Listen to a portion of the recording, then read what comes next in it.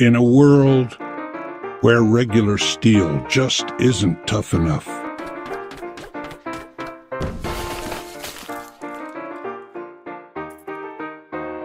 a one process dares to turn weak metal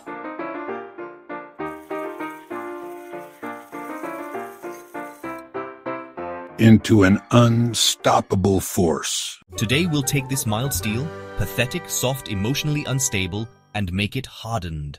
I'm trying my best. Wah wah.